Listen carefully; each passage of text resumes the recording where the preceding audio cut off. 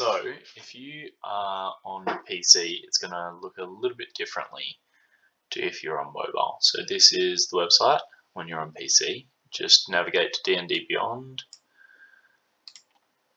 and then you can go to sign in up in the top right hand corner.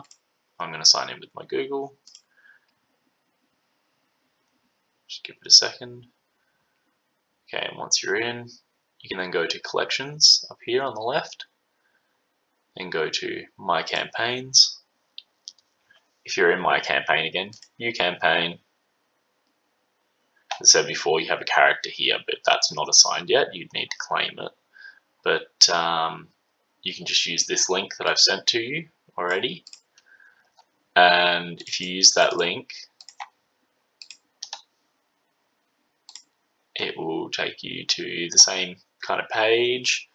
You can just go create a character or use the character that's available that I created for you. Um, if you just click it, it will just take you straight into the campaign. And then, once you've done that, if you want to access any of the source books, it's all under sources. And they're just all here.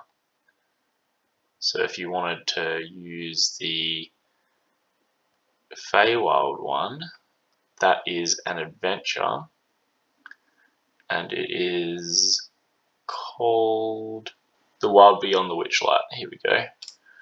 You click that and it'll open the book and then you just start off with the introduction. It's got the carnival and different different bits and pieces. It's got some magic items, factions, creatures, role-playing cards which are interesting.